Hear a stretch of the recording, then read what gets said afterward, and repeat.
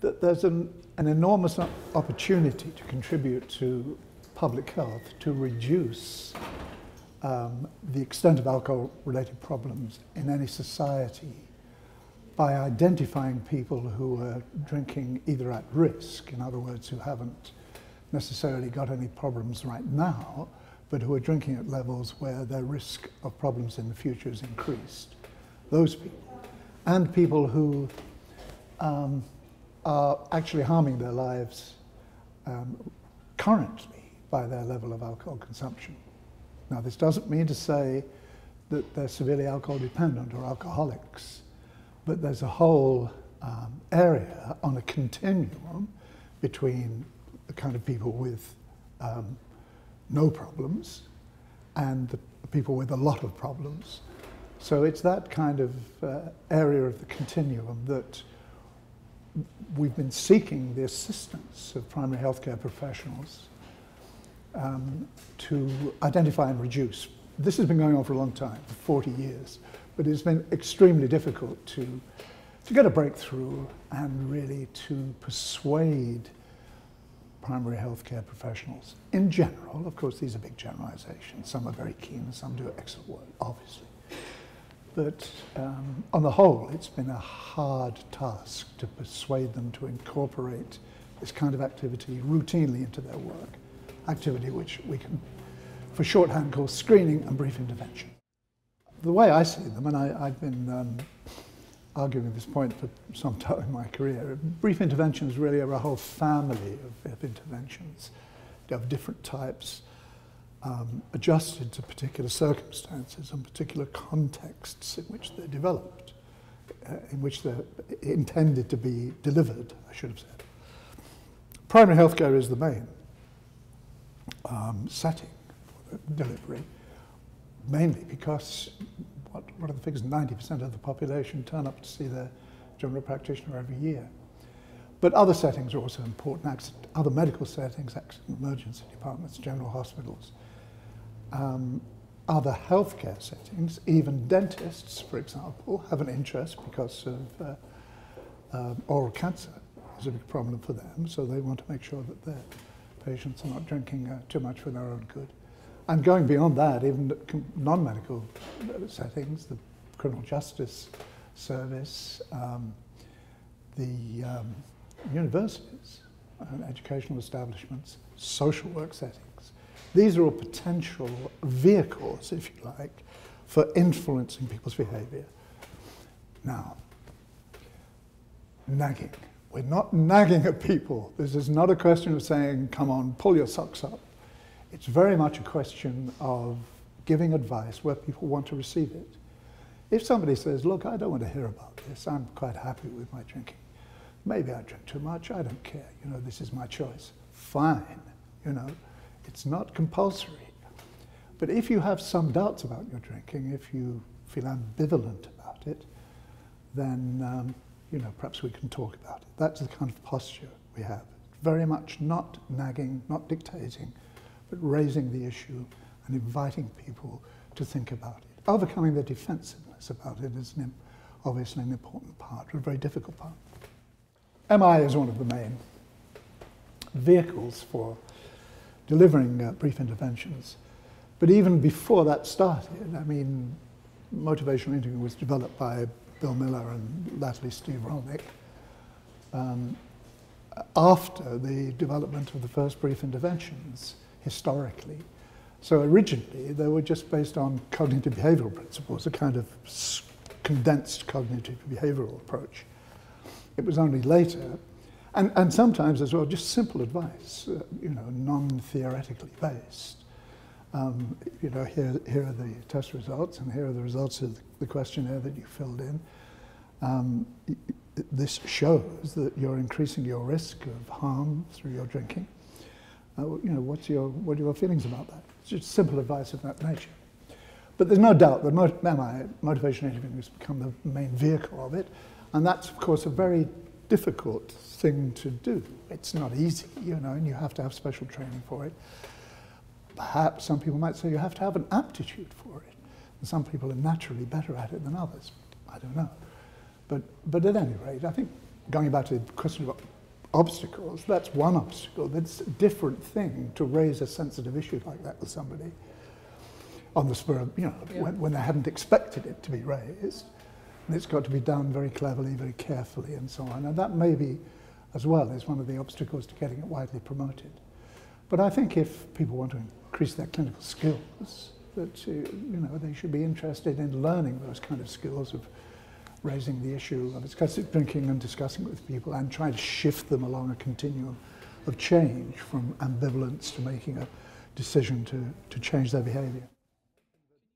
Perhaps I could have said more in the preceding bit about my brief interventions, is that it's not just, a question of medical practitioners either. Obviously, there's a whole range of primary healthcare staff who, who might be involved in this work. So if the doctor, the physician, is too busy, disinclined to do it, at least he or she can motivate other staff or, or, or uh, encourage other staff to be involved. There's no reason why nurses can't, practice nurses can't be involved, and other types of uh, primary healthcare professionals. And of course, the big advance uh, in recent times is the availability of um, digital interventions and, and leading patients instead of doing work face to face. I mean, I think the evidence shows that some face to face contact is necessary. You can't shove a person in front of a computer and let them get on with it. But you can save a lot of resources and make a lot of shortcuts by, by using digital interventions. I mean, somebody at the Center for Addiction and Mental uh, Health, um, John Cunningham, has been one of the leaders in this field. And, uh, you know, I think that's a very exciting prospect, not just for um, internet intervention, for people doing it on their own, which is important, but also for primary healthcare uh, practitioners to use those kind of internet facilities to, to advise patients and, uh, and help them change. One obstacle, uh, conceptual obstacle to all this work is the continued notion, the fixation people have on this idea of alcoholism as being the only type of problem that exists. And, um, you know, this has been going on for a long time as well. And fortunately, every time a celebrity or a sports star comes out with, uh, you know, could, I'm not knocking you know, people got their own solutions to find, and if that suits them, that's fine. But the publicity given to the alcoholism concept in this way leads to many people in the community including professional workers as well, to think that that's the only kind of problem there is, you know. We, and we really want to get people away from that into a whole spectrum of alcohol-related problems, types of problems and severity of problems as well, that uh, in aggregate are a much larger, um, cause much more damage in society because there are so many people who suffer from them without having that severe form of alcohol dependence, which people naturally call alcoholism. So we, want, we don't want to ignore people with those severe problems, not at all. More funding should be directed to helping them. But we want to move the focus of society and of professionals in the field to this broader spectrum of alcohol-related harm in society. Well, I've just produced um, a collection of uh, essays um, last year with a guy called uh, Gabriel Segal, who's a philosopher, actually. And um, this is something that I, I, an interest I developed when I stopped working for the NHS and I had a bit more time on my hands. And what it's, it's saying is that um, there are two kind of errors you can make in thinking about addiction. One is the the mistake of thinking that it's completely compulsory behavior, and automatic behavior. There is no choice whatever, uh, which I think is absurd. But unfortunately, is the impression that many people uh, receive, including people with problems, so that there's a disincentive for them to change. Because they've been told, oh no, I've got a compulsion, I've got this disease of addiction, which means I'll be unable to change. Between that on, one, on the one hand and the idea on the other hand that it's a completely free choice, that it's all a myth, you know, that addiction doesn't exist, it's something just made up um, for certain reasons. We say that the truth lies in the middle of somewhere, We don't dismiss the concept of addiction, not at all. Addiction is the difficulty people, special difficulty people have in changing their behavior. But we say that the truth exists between those two extremes. So, I mean, a convenient phrase is from, um, you know, the, who is it in uh, Romeo and Juliet who says, a plague on both your houses. We want a middle course between these two extremes. So the book is called Addiction and Choice, rethinking the relationship between addiction and choice. And there are philosophers, philosophers are very interested in addiction because it poses a, a, very interesting problem for them and have been interested throughout the ages, right? Since the ancient Greeks, actually. But anyway, so they're very clever philosophers giving their views on this problem. Neuroscientists as well, because there's a lot in common with some new scientists who um, regard addiction as some kind of disorder of self-regulation, right? Psychologists, um, lawyers as well, commenting on the implications for law of this. So that's um, a book produced by Oxford University Press. It's rather expensive, I'm afraid.